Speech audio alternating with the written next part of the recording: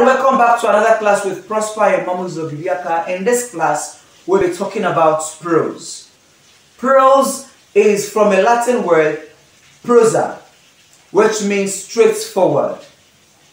You can also say prosa oratio, which means straightforward speech.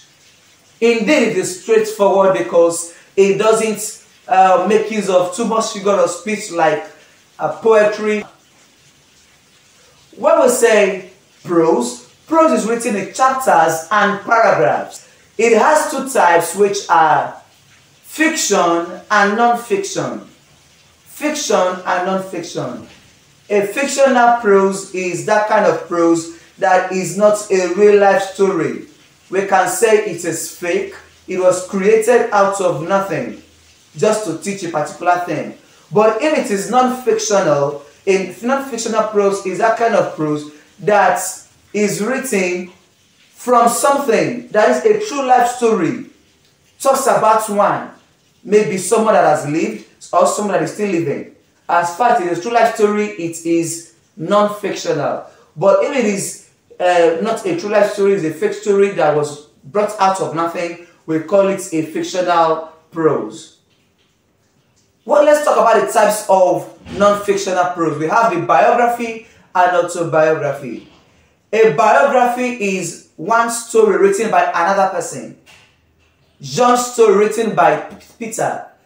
So we can say since John's story was written by Peter, it is John's biography. So when another person writes someone else's story, it is the other person's words biography. But if it is autobiography, it is one story written by himself. John writes his own story, it is autobiography. Then for fictional prose, we have the novel, we have the um, novelettes, we have the short stories and short short stories. If it is a novel, it is that kind of long narrative that has at least 50,000 words it takes time to read this kind of a book. It can even take you nothing, nothing less than um, 12 hours, even a whole day, and even some days to complete that particular work of art. And if it is a novelette, it is shorter than a, than a novel. You can read it in the space of three hours, two and a half hours if you are doing speed reading. Then if it is um, a short story, short story is shorter than a novelette, but longer than a short, short story. That is why sometimes you see the tortoise and other short stories. All those are the one we call short stories. You can read them in the space of one hour, 30 minutes. But if it's short, short story, that's some of the ones you find in English textbooks or in those storybooks of little children that you can read in the space of um, one minute, three minutes, as fast as you as you can. So that is it for um, fictional prose. Let's talk about the types of prose that we have. I'll give bring out some types of prose. Number one is epic novel. Types of novels that we have. We have number one epic novel, which is a novel that talks about hero, ancient hero, narrative. It is narrative in form of talk about an ancient hero and his great deeds. Those are epic novels. We have the epistolary novel, which is written in the form of a letter.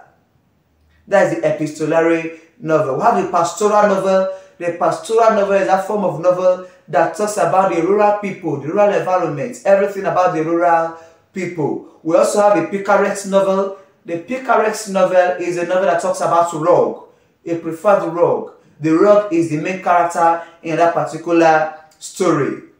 We have the apprenticeship novel, which is a novel that talks about someone who grows from one stage to another, has education and continues to grow in knowledge and in education.